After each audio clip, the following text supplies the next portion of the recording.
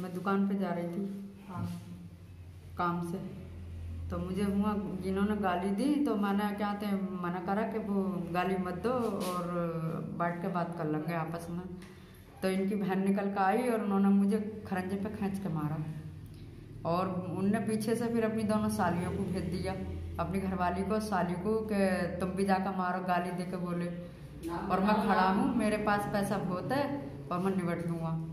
इन्होंने मार के मुझे और कोई बात किस नहीं। किस ने मारा तुम्हें? क्या क्या? फराना समा फराना और रिफा। अच्छा किस किस बात को लेके मारा? एक मिनट चुप जाओ आप लोग। किस बात को लेके मारा? उन्होंने मुझे बात नहीं बताई पूरी। उन्होंने कहा गाली दे रही थी बस गालियों के पीछे मारा था उन्होंने। चिड़े हुए थे किसी बात को लेके तुमसे? किस बात से चिड़े हुए थे? नंद रह रही थी हमारी। हम्म, तो उन्होंने क्या कहते हैं कमरे में से उन्हें निकाल दिया। अच्छा। अब किराया क्या कहते हैं वो नहीं किराया देके नहीं गई थी। हम्म, हाँ और किराया उसका दे दिया था। उसी बात को लेकर जब विवाद हुआ था पहले। हाँ। अच्छा बताओ फिर थाने गई तुम? थाने सुनी तुम्हारी? हाँ थाने गए थे हम। थाने में इन्होंने धमकी दी हमें।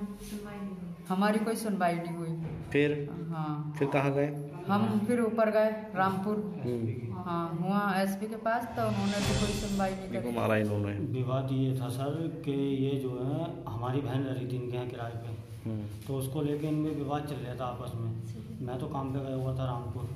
जब मेरे द्वारा फ़ोन करा कि आपकी बीवी को मारा है जब मैंने आन के देखा तो ये मुझसे पहले जो थी वहाँ जा रही वहाँ थाने वाने में जो है इनकी कोई सुनवाई नहीं हुई। इन्हें वहाँ से भगा दिया। उसके बाद में हमने एसपी साहब के यहाँ पे वो दी तहरीर। उन्होंने ले तो ली लेकिन कोई सुनवाई नहीं हुई है अभी तक। उसके बाद में सी साहब के यहाँ पे दी। वहाँ से भी कोई सुनवाई नहीं हुई है। अभी तक न्याय नहीं मिला तुम्हें नहीं न्याय नहीं मिला। अभी तक कोई भी न्याय नहीं इनकी गिरफ्तारी हुई है अभी तक सर। क्या धमकी दे रहे हैं?